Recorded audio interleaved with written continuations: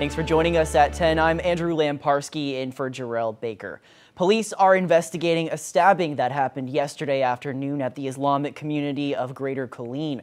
Killeen police say one man is dead and another is in custody. While there's no current threat to the community, the details of this situation are developing. We're still waiting to hear from police and those inside the center on Saturday afternoon about what took place.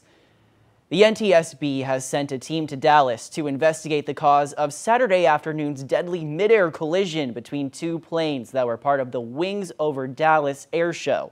Here's ABC's Rhiannon Ally with the details.